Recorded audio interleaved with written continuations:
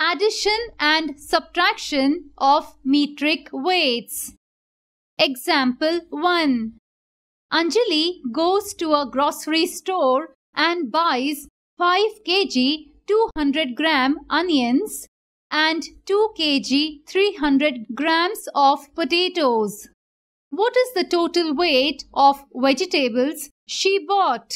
To find the total of all the weights of the vegetables, we will add all the weights together.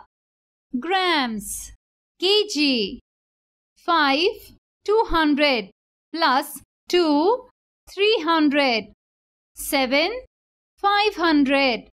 7 kg 500 grams is the total weight of the vegetables that Anjali bought. Subtraction of weights is also done like normal subtraction.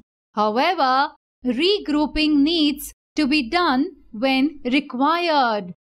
Example 2. 3 kg 450 g minus 2 kg 200 g. This subtraction can be done without regrouping.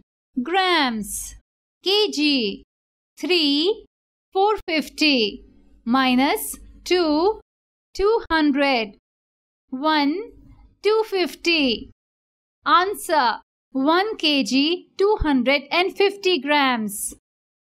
Example 3 9 kg 200 grams minus 5 kg 400 grams. Arrange the numbers and convert to grams to subtract. Grams kg. 9 200 minus 5 400 3 800 Answer 3 kg 800 grams